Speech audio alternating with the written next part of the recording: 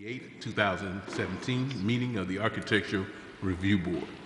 The Architectural Review Board is a nine-member board appointed by the City Council and serve on a voluntary basis without compensation. Our procedure for conducting business is the petitioner for each item will be asked to come forward, state your name for the record, and present his or her request. The board will ask any questions they may have. Then anyone wishing to speak to the proposal will be asked to come forward and voice their opinions.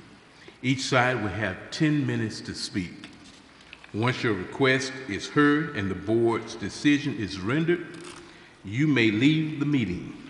However, if you have any questions for the staff, please wait until after the meeting is over to ask them, or you may contact staff at the office the following day. Once public testimony and discussion for a particular item has concluded, the members of the board will deliberate and will render its decision. Members with a personal or financial interest in any request are required to recuse themselves from voting. All decisions by the Architectural Review Board are final. Any agreed parties may appeal a decision of the board to the city council within 15 days. Petitioners may also appeal the board's decision to the circuit court within 30 days of the meeting. We have six members here present. It takes five votes to pass a motion. Because of the number of board members present, if you would like to delay your request, please let us know at the time your request is announced. At this time, I'd like to introduce the members of the board that are present here. Um, We have to my far, to my far left, uh, Reverend Willie Welch, Miss Elizabeth Brown, to my far right, um, John Hayden, John Foshi, and Katie Williams, and myself, Walter Bush, Jr. The planning control staff, Christy Anderson, Russell Stringer, and Robert Smith. A quorum has been established. Um, We we can get on down with the meet, with the business of our meeting. Um, Do we have any corrections or uh, comments per the minutes of last, of the last meeting? Any corrections or minutes? Okay. Well, minutes from the last meeting will stand approved. Our first presenter by Mid-State Advertising. Request for approval of a new business sign for the property located at 130 Commerce Street, Lower Commerce. You may come and present your petition. And you all have a separate handout for this because Mm, okay. um, I got it this morning. Okay? Go ahead. Al. Okay, um, I'm Judy, I'm with Midstate, and this is Brandon with Escapology. And we're here to request a lighted um, channel letter sign, um, an internal lit channel letter sign, a backlit logo on a raceway on the canopy, on the outer edges of the canopy.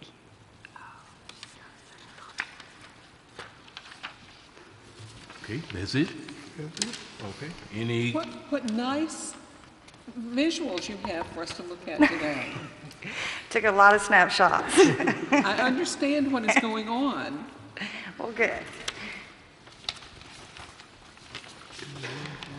any comments from the board? Any comments from the floor? Any comments from the floor? I would just point out that they have um, the individual channel letters, and at the back of that first, first bunch, there's also one that shows what it would look like attached to a backer um, that has the individually lit letters, but it's my understanding that this style would also accommodate a backlit sign versus a letter lit sign. That's Becau- correct. Because it has a back, so. Right. So you So- have, we have two different styles here then, one with the back and one without? Yes, ma'am. All right. The one with the backer is slightly smaller as well. Okay. Do you have a preference, Judy, which one? Or does uh, your client? We would prefer, um, Could you state your name? I'm sorry, I'm Brandon Taylor, the General Manager of Escapology.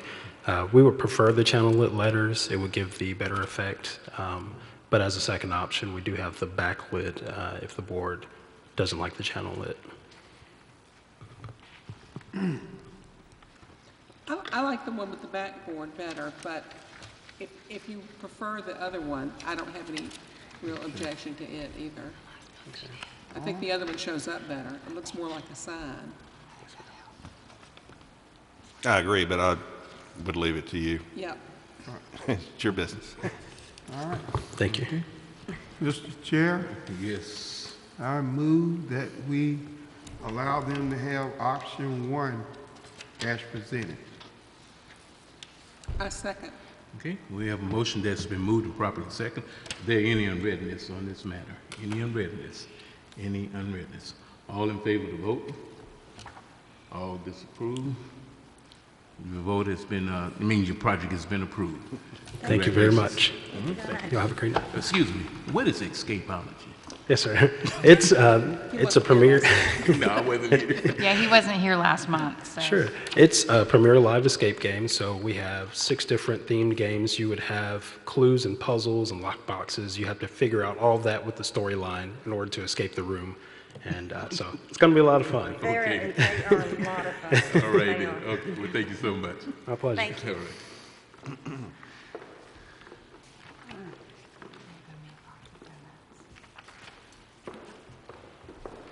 Our next presenter, uh, Gwendolyn Perryman. Request for approval of a rear yard fence and sidewalk widening for the property located at 1035 South McDonald Street, Garden District. You may present your case. Gwendolyn Pearman, uh, request for approval of a um, rear yard fence and sidewalk wa- widening for the property located 1035 South McDonald Street in the Garden District. Okay. Any questions from the board on this matter? Any questions from the board? Any questions from the floor? Any que- Chair, entertain a motion. I move that we approve the project as submitted. Second? We have a motion that's been moved and properly seconded. Is there any unreadness? Any unreadness? Hmm? Yeah, yeah. Any unreadness? All in favor of the, all opposed? Thank you. The Project's you, been approved. thank you. Good luck. Yes. That's why we're down. So Yeah, our next presenter, Russ, Russell Estes, if that's correct. Uh, request for approval of a rear yard fence for the property located at thirteen eighteen Woodward Avenue, Old Cloverdale. You may present your case. Yes, sir. My name is Russell Estes, and we would like to build a privacy fence at the rear of uh, 1318 Woodward Avenue. Six-foot, dog-eared, pretty standard. Any questions from the board? Any questions from the board? Any questions from the, any comments from the floor? Any comments from the floor? Chair, entertain a motion. Move to approve as submitted. Second. Well, motion that's been moved, properly second. Is there any unreadiness? Any unreadiness? Any unreadness? All in favor of the vote? All not? Okay. Your project's been approved. Thank you. Thank you. Let's go for a record. I doubt that's gonna happen. Okay. Our next, uh, presenter, Randy and Paula Clark. Randy and Paula Clark. Request for approval of garage door. I think that's the one that's been, no, that's, is that? the one? No, no, Okay. this, this was, this is Okay. still, Okay, then. All right. Request for approval of a garage door for the property located at 1960 and 1964 Ridge Avenue, Old Cloverdale. Um, I'm Darby Forrester, and I'm representing the Old Cloverdale Association and also the Clarks because they live in Connecticut or Maine or someplace. Um, and we've been in touch with them about this. Um, we don't have a, a issue with installing the garage doors. Um, It's set back behind the um, apartment building, and I think the garage doors would look better than the blue tarps they have now. Do you have any comments from the, from the board? Any comments from the board? And I think it's just a basic white garage door that has been mm-hmm. approved before, so. Any comments from the floor? Any comments from the floor? Okay, Chair, entertain a motion. Mr. Chair, I move that we approve the petitioner request as submitted. Second. We have a motion that's been moved and properly second. There any unreadness? Any unreadness? Any unreadness? All in favor of the item? Okay, all opposed? Okay, the project has been approved.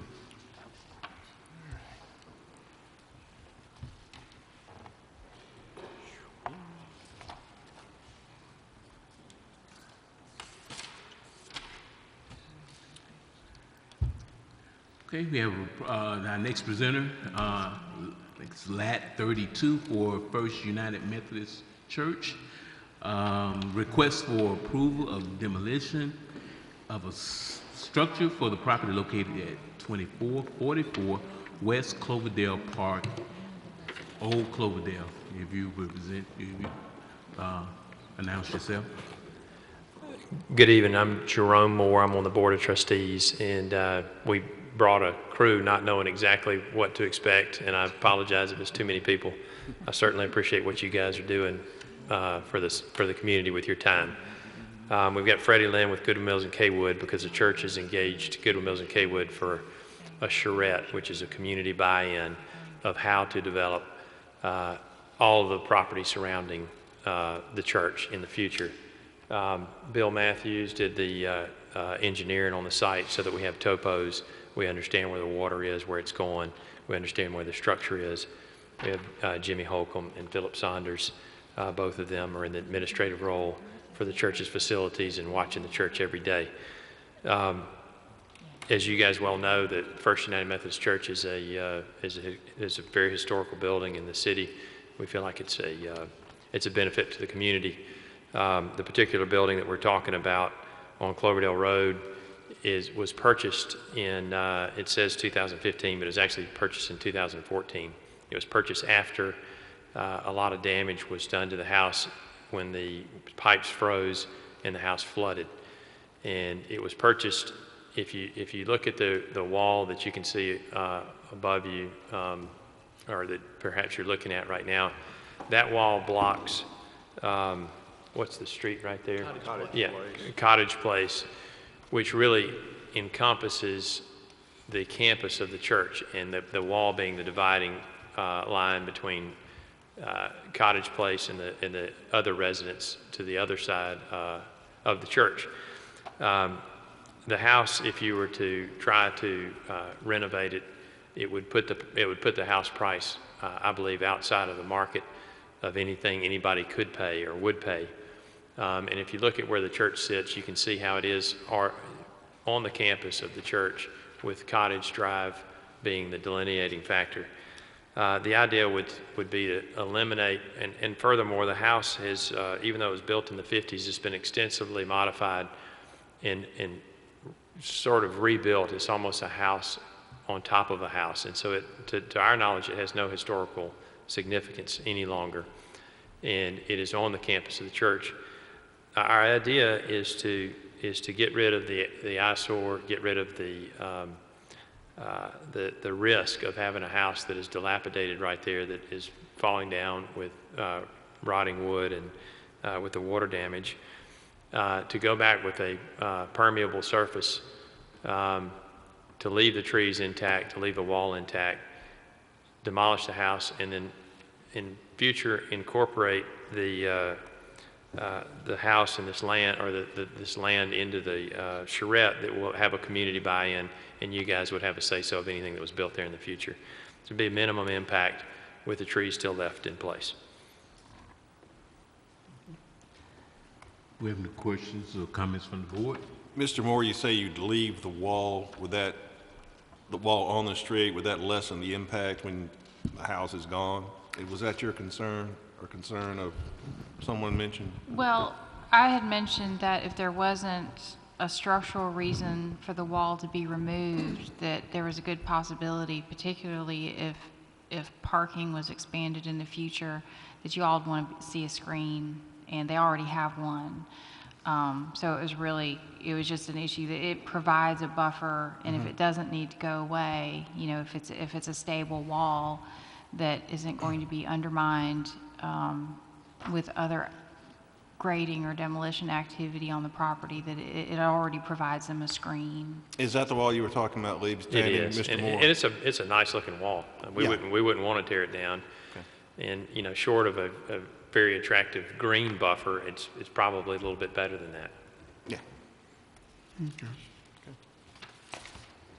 I would note that they did not submit anything regarding applying a permeable, like a gravel or anything for parking. So if approval was given for demolition, um, we'd need to see that parking plan before you could put gravel down. I was gonna say, if you, they went in to put anything in to put in parking, they'd have to come through us first, They wouldn't would, they would. they? I mean, right now, They, they could leave the solid surface, but I don't think you, they can park in the basement very easily of that house. Um, it, it sounds like if we, if we approve this, all they can have is a lot.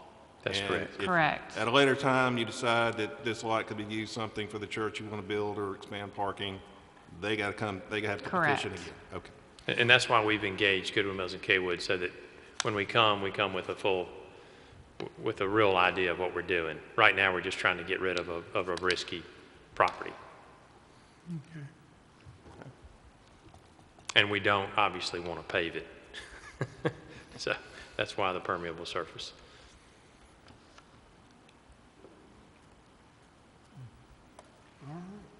Any further comments from the board? Further comments? I don't like tearing something down when we don't know what's going back. We've done that once before, and I just think it sets up a bad precedent to remove something and not have the idea of, of what's going to be in the, uh, what, what's replacing it. What is the time frame for conducting your long-term, your 30-year use plan?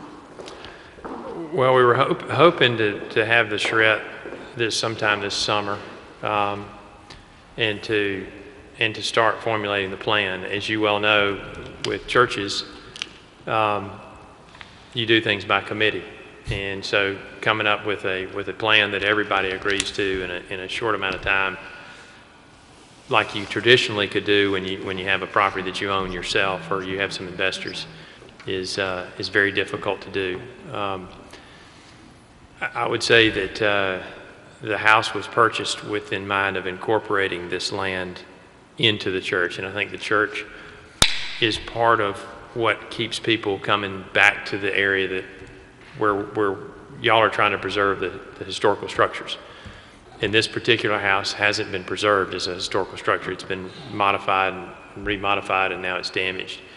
And so, even though we don't have uh, a current plan right now about what needs to happen to it, sometimes you've got to you got to clean the slate to be able to see the plan, because it's really difficult with the way the house is on the property to even start to formulate a plan.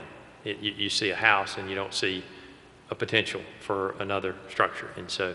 I think Freddie is very capable. I was going to say And the he same. could, without any doubt, bring those pictures to mind that you would understand. I was about to say the same thing, Well, Mr. Lee. I, I was thinking that because you all have been such good neighbors, that we could trust you all, uh, judgment on this, and that you all would do whatever you're gonna do after you tear it down, that would be, uh, good for the neighborhood. So I would hope that we would, because you all have been such good neighbors, uh, that we would just trust you to do what you need to do without delaying tearing the house down. Well, and I think, I, no one wants to have buildings torn down, but I think having a clear lot and coming up with a plan a bit later is, is better than having an abandoned building, which is not going to add anything to the area. Right. It may well be, I mean, it's summertime is coming, you're gonna have critter problems and all sorts of things that are gonna start invading, I guarantee, we all know Te- that. from- Teenagers. And, and, uh, yes, we were, many moons ago, we were all teenagers, and we know right. things do happen that you can't control. Uh, so I, again, for their safety, I think it would be better if you're gonna tear it down, get it done. And you say that the trees will not be uh, removed? Yeah, the, the, we've, uh, there, there's a lot of really nice trees on there. It's a there. nicely landscaped lot, really. Yeah, it is, and uh, we have no intention of, if there's, if there's a small tree that's an invasive species or something that, that's not attractive and it's, uh, you know, been, it's grown up since the property's been abandoned, that, something like that would be removed, but none of the, none of the stately trees that, that we all enjoy and add so much to the community would be removed. Would, would the city need to go and walk with y'all on the site to verify the, the larger trees to make sure that they're protected? Mr. Stringer? Mr. Uh, Stringer? I'm happy to perform that duty if requested. Uh, Also, is, uh, do you have a tree protection plan, or will you be uh, instituting one? As far as the, the, the the root areas and the Yes. canopy and, and being under, well, the, Yes, because tying a, a ribbon around a tree doesn't protect it from deconstruction or Yeah. construction, so. I understand. Um, We, the, the person I think that we've chosen to do the demolition is Jeffrey Falk. And I think you know Jeffrey and, and know that he, he's a friend of trees and I'm a friend of trees. And, and I think that, uh, I don't know the specific tree protection plan other than our plan is, we- we'd be happy to get with you and, and, and modify that plan if that would, if we would ensure a better, uh, I think that would be something. better survival. Again, uh, Board, I'm happy to perform that. I think that would be something that could, Yeah. It would make me feel better. I know that no, no one's gonna try to hurt a tree, but you're gonna, No, I don't wanna you're gonna a have tree. trucks, you're gonna have a lot of heavy equipment out there and, you know, especially if the soil's damp or whatnot, if, as, things happen that are unintended sometimes when you're tearing stuff down. You're, you're right. And I think, I think incorporating that plan is smart. All right. And appreciate that.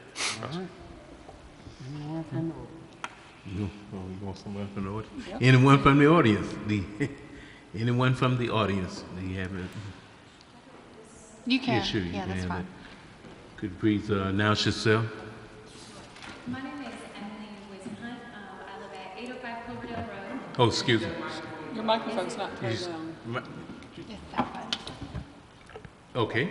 All right, let's try this again. Here we go. Uh, my name is Emily Whisenhunt. We live at 805 Cloverdale Road. Um, we live in the home that is adjacent to the large section that the church uh, somewhat recently re- uh, acquired. And the back of our home looks out over this piece of property. We are also members of First United Methodist Church.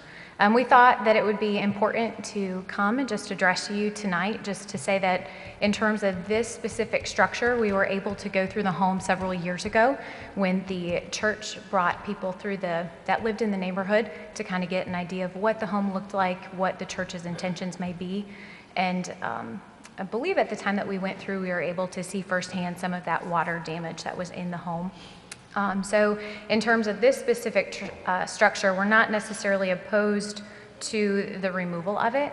Um, I think we agree with what the church has said about it doesn't necessarily have that historic, um, significant historic value to the home anymore because of the changes and because some of the things that have happened to it. We do, however, have several concerns. Some of them I feel like I heard voiced by you as the board. Um, Our biggest concern, I guess, is there's no clear plan that's stated. Uh, In the ARB submission, it talks about it being a temporary parking lot. Um, You know, for us, we feel like the church has had several years of ownership of this house. And over that time, it seems like there could have been um, more of a, a developed plan. And so we would like a more clear idea of a, of a timeline or of a plan before approving the demolition of a structure.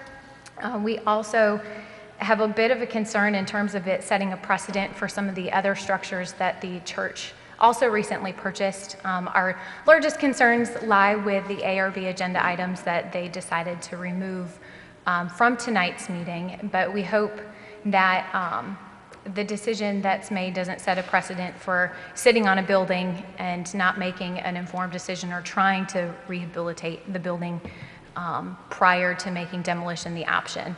Um, And then, you know, as, as an adjacent neighbor to a lot of the church's property, we're, you know, somewhat concerned about our- the investment in, in our own piece of property. We've made a lot of changes.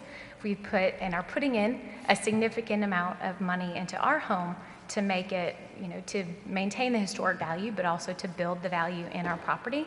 So we just hope that whatever is approved, uh, there's a clear plan so that we can maintain and establish that investment that we're creating, um, and that it's not just going to all be buildings that come down and continue to be more parking or church structures.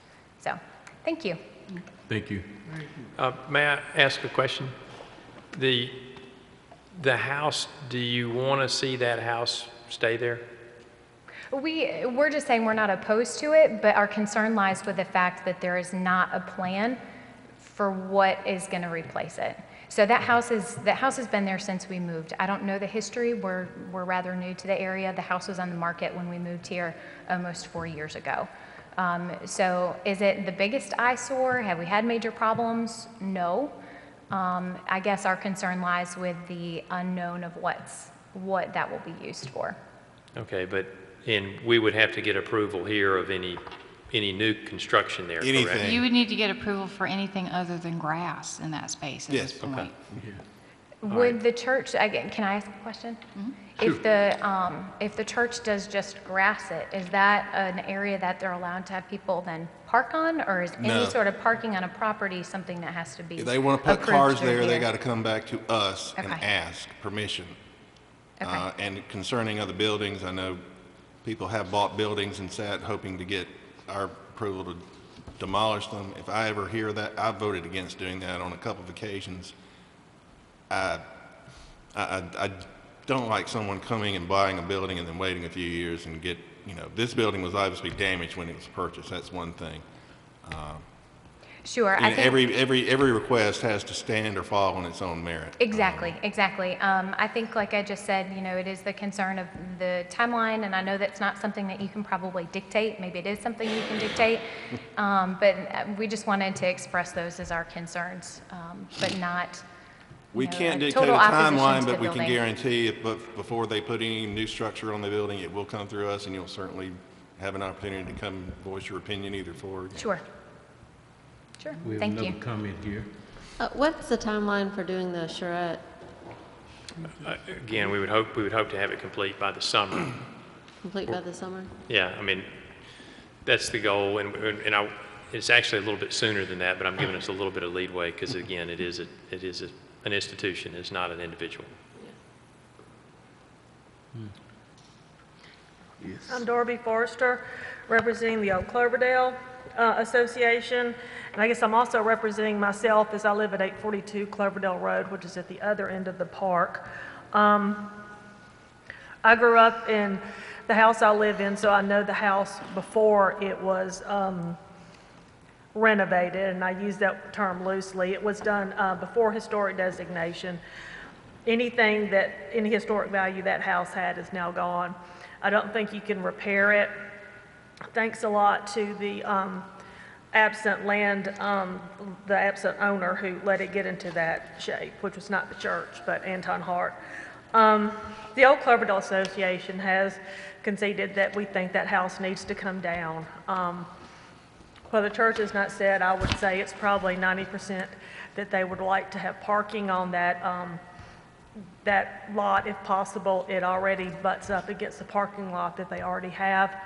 Um, Was concerned a little bit about the wall. I know you said it was going to stay, but I think, Jimmy, you had said in our OCA meeting that you weren't sure because there were like some big cracks in it and didn't know if it was structurally sound.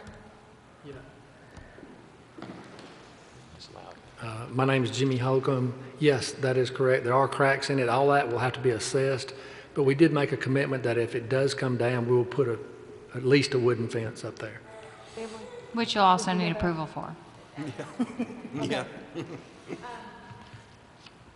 Yeah, I, I think we'd like to, you know, if it does have to come down, then, um, maybe we can, you know, discuss, uh, you know, maybe if we had a, a wooden fence and maybe some shrubbery to break it up or something like that. But I think we would want something to go on the edge of Cottage Place.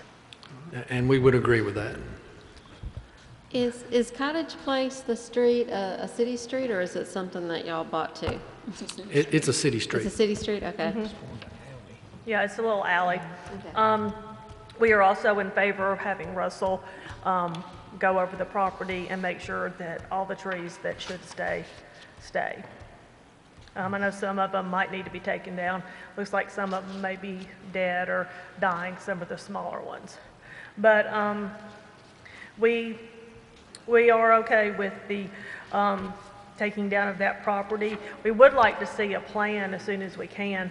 Um, I know one thing, if you do finish your charrette in the summer, if you bring a plan to the ARB, you actually have, is it a year, Christy?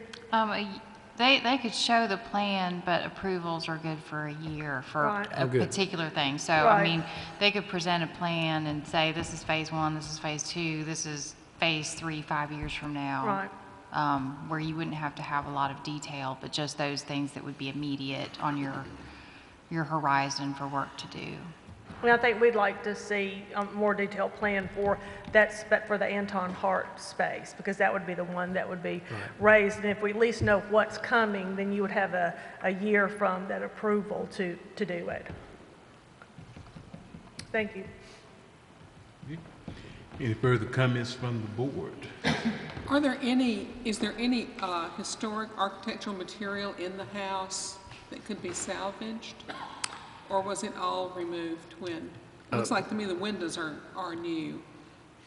There's nothing of value in the house. There may be a, some wooden floor planks that someone wants. Other than that, I can't think of anything else. My understanding is it was stripped of doors and mantles and anything of interest prior to the church closing on the purchase. So they backed the truck up, anything that was nailed down or whatnot, they loaded up and left, it sounds like. Pretty much. That's nice. Yes, and I want to put note on, this is a case-by-case uh, item that we're dealing with, so uh, this doesn't Absolutely. have to reference anything else that we're doing. Right. So uh, it's a case-by-case, and if you would look at it in that manner, uh, when you make your motion, please do. Chair, entertain a motion. Mr. Chairman, based on the facts presented, I move that we approve the demolition of the building, subject to the wall remaining, subject to a tree protection plan being made and approved by Mr. Stringer. If something comes up, if Mr. Stringer has a problem with something, he can present it to us, and maybe we can, at some point, come back. Uh, But that's my motion. Second that motion? Motion has been uh, moved and properly second. Are there any unreadness on this matter? Any unreadness? Any unreadness? All in favor of the vote? You- you vote? Yeah, I vote. Yes. Uh, who's- Okay, all who's- opposed? All opposed? No votes? All- Chair. Yeah, I, I was for I'm for it. Four. Yeah, Forward. yeah, Mr. Chair, I abstain. yeah. Smart. Okay, listen, you, five. you in it too? I vote- I voted Okay, yes. yes, M- okay. Ms. Brown, it's- we'll try to make you proud. So I six, think she Yeah, voted for six it. votes. We have Six six zero votes one. and one, I ex- think it was Steep hill to unanimous. climb. and one We're gonna try to make you extension, proud. extension. We don't wanna do Cedric, it I'm going to put that down as a recusal. Yes. Since the Yes. words Goodwyn, Mills, That's and right. Cawood were uttered. That's right. Yes, yes, we don't want that. Mhm. Okay then. All right. Thanks your for correcting motion- me, Christie. Motion has been uh, approved, subject to those uh, requests. Thank you very much. And item six was withdrawn, And so that item is the six has end. been withdrawn, and I think that's it for tonight. Anyone have anything for, uh, for us until we close? Well, meeting is adjourned. Cedric, you made it just in time.